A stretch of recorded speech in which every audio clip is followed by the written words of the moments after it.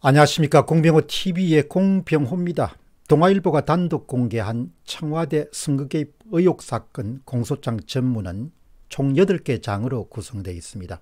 제2장에 송철호 선거 캠프의 선거운동 전략 수립은 울산시장 지방선거 청와대 개입 사건의 배경을 이해하는 데 상당히 도움이 되는 그런 문건입니다. 제2장을 분해해서 알기 쉽게 정리하고 소개한 다음에 간단한 해설을 다하는 시간을 갖도록 하겠습니다. 다만 임종석 전 비서실장의 검찰 소환 조사가 마무리되지 않았기 때문에 송철호 울산시장의 출마를 결심하게 된 계기와 그리고 전후 상황은 이번 공소장에서는 전혀 포함되지 않았습니다. 제2장의 제목은 송철호 선거캠프의 선거운동 전략 수립입니다. 그런 제목이 딱 있고 그 다음에 이제 공소장이 전개가 됩니다. 첫 번째 포인트는 문재인 정부의 선거 전략이 중요한 역할을 했다. 공소장 기록은 이렇습니다. 2018년 6월 13일에 실시 예정이던 제7회 전국 동시 지방선거에 점하여 현 정부와 여권에서는 지방 권력을 교체함으로써 국정수에게 동력을 확보하고자 하였고 선거 전략의 일환으로 전직 대통령의 탄핵 등으로 촉발된 적폐 청산 기조를 지방까지 확산시키고자 했습니다. 송철호 야망의 불을 지핀 주체는 문재인 대통령과 청와대입니다. 집권 세력이 국정 운영 방향과 선거 전략이 적폐 청산의 분위기를 중앙으로부터 지방까지 확산시키는 그런 원칙이 정해졌기 때문에 그 원칙에 맞춰서 송철호 출마를 이끌어낸 겁니다. 두 번째는 불리함을 뒤집기 위해서 네가티브 전략의 도입이 절대적으로 필요했다는 겁니다. 공소장 기록은 이렇습니다. 그중 울산, 부산, 경남 지역은 부울경이라고 하죠. 전통적으로 자유한국당 및 구여권에 세가 강하였고 특히 울산 지역시의 경우는 대규모 산업단지에 대기업들의 공장이 다소 분포되고 청장년층의 인구 비율이 높음에도 불구하고 이전에 더불어민주당 및 구야권 후보가 시장으로 당선된 적이 전혀 없었을 뿐만 아니라 현직 김기현 시장의 정치적 기반과 지지도가 탄탄하여 현직 대통령에 대한 높은 지지율을 활용하거나 지역 내 적폐 청산 등 새로운 선거 전략 수립이 필요한 상황이었다. 공소장 내용을 보면은 네가티브 전략을 통해 가지고 당시에 울산시장인 김기현 씨의 측근 비리 사건을 부각시키는 이른바 네가티브 전략을 사용하지 않으면 선거에서 이길 수 없는 것이 그 당시의 상황이었습니다.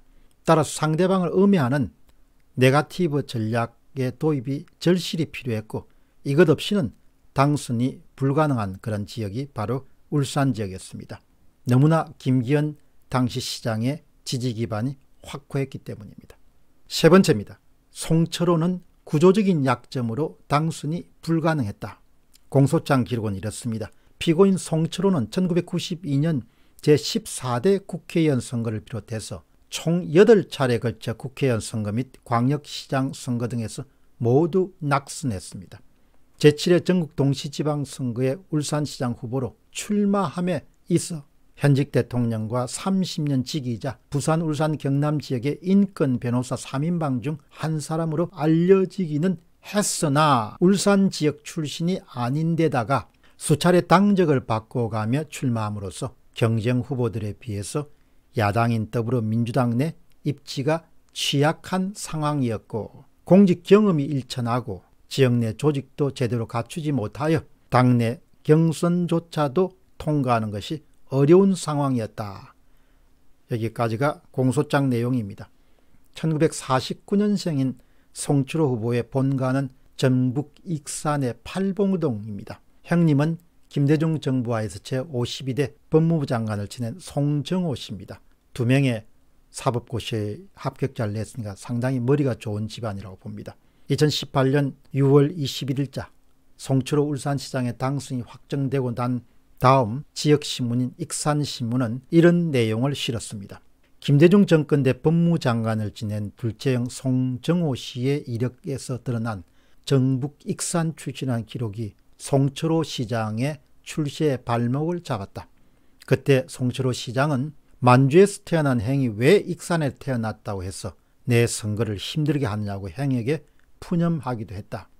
다시 이야기하면 울산에서 선출직 공직자로 출마해서 악정고토하는 데는 지역주의 때문에 상당히 고전했다는 것을 짐작할 수가 있습니다. 네 번째입니다.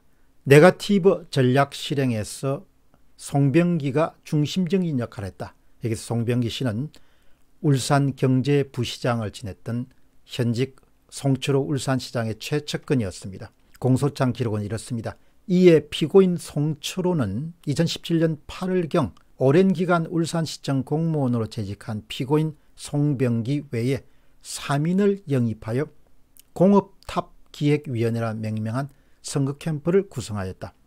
특히 피고인 송철호와 피고인 송병기는 더불어민주당의 중앙당과 청와대 등의 지원을 이끌어내 송철호 후보의 전략 공천을 추진하고 굉장히 중요한 선거 전략이었습니다.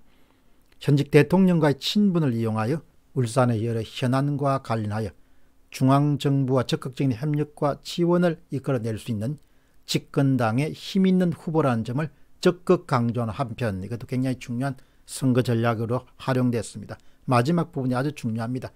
유력한 경쟁 후보자인 김기현을 무능한 톡착 비리 세력이자 적폐 청산 대상이라는 점을 유권자들에게 적극 홍보하는 등의 구체적인 전략을 수립하였다.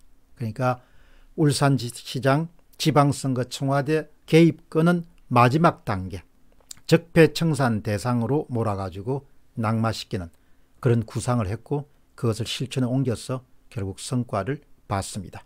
공병호 TV의 공병호였습니다. 감사합니다.